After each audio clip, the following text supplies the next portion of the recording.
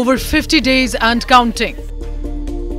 NASA astronaut Sunita Williams is still stranded in space, along with fellow astronaut Butch Wilmore.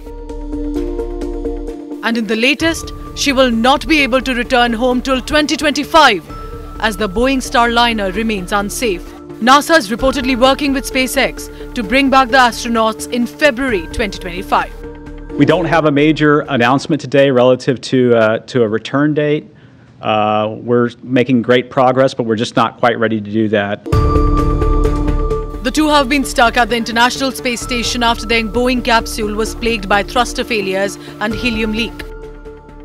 Let's go forward into Starliner, where uh, there was a little bit of action the other day. So I'm going to lead you down through the PMA, PMA 2 into Starliner.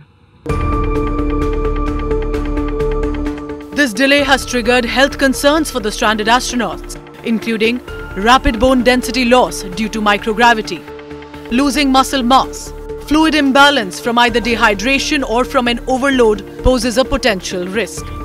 And with isolation and confinement on board the ISS, concerns over their mental health has also risen. But NASA insists all is well. Uh, the team is doing great. The joint uh, Boeing and NASA team is doing well. They're working uh, side by side with each other every day.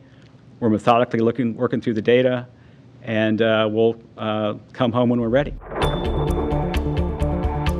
This was Boeing's first ever test flight with the crew on board. And now NASA is staring at over $1 billion loss if they abandon the capsule. We have contingency options. We've put those in play. NASA always has contingency options. What was meant to be just a 10 day mission has now extended into a journey of uncertainty for Sunita Williams and fellow astronaut Butch Wilmore. When will they be able to return to Earth?